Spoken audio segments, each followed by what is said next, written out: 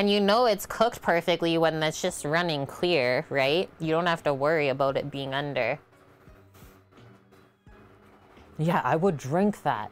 The kimchi fridge is just under a thousand bucks. Not bad.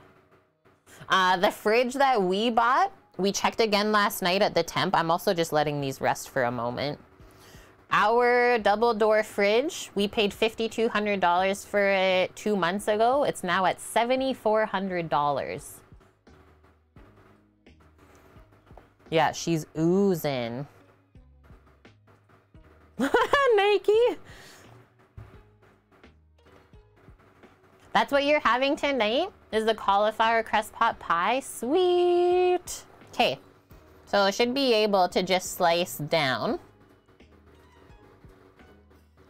Hopefully not disturb the glaze too much. Gonna be very gentle as I put my knife to the bottom. Ready?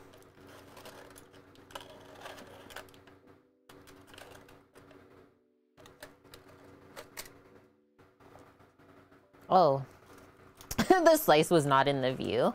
That looks good. Like breadcrumb, cheese. Go again. Okay, this is the part where it kind of fell off the top. So we won't flip this one over. But wow, that is holding together. What a nice mix. Okay, that's the other part where the top, the top may or may not have stuck to the pan when we flipped it over.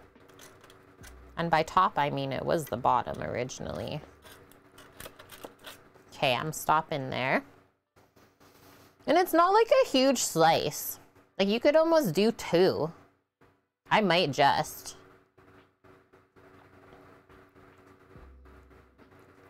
Meatloaf can be so underrated, right? This one is crazy, Chris. We did like the mushroom duxelles inside of it. And then what else? There's a little bit of Emmental cheese. We soak the breadcrumbs in milk, like very classic style.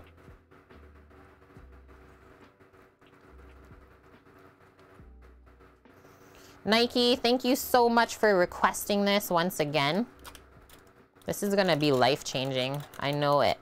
Yeah, I'm doing a double slice on each plate. Two, four,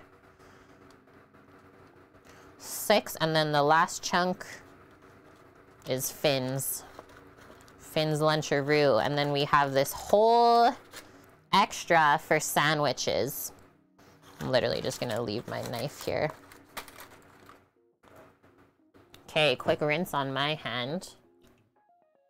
And then we'll turn this around to make some room on the board. We got a true refrigerator, Alf. It's the double door stainless steel one.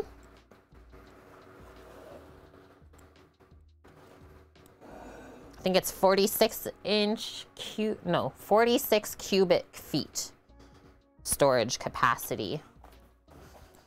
Okay, definitely want a bowl or plate with a rim on it for sure. Let's open this up. Hi, Mary. How are you doing? Yeah, it sliced really well. The only difference from the recipe was the cheese. No, the cheese was in the recipe too. They said four ounces. And then this.